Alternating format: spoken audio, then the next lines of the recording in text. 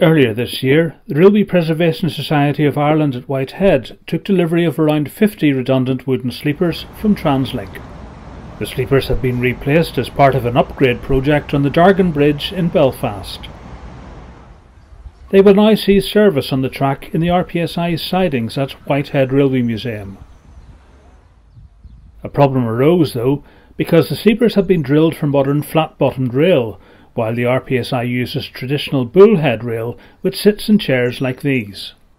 So it's a GNR chair and uh, must date, well, Great Northern finished in 1957, so it must date back to those days. Yeah, oh, it's pretty, I would say Roy's quite right. Yeah. Can't imagine those chairs are from 42.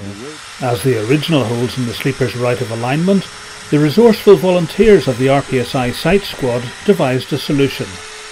They set to and designed a new steel jig which enables a magnetic drill to be used for drilling the sleepers. This means the new holes are a precise match for the Society's cast iron bullhead chairs, which in turn carry the 60 foot lengths of steel rail. The original uh, track was from flat bottomed rail. We are now changing them over to bullhead rail.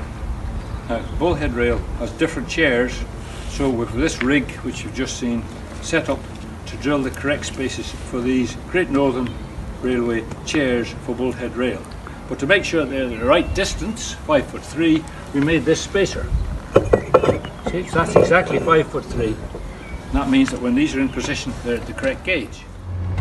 The site squad developed a production line, which means the new holes can be drilled and replacement chairs fitted in a matter of minutes.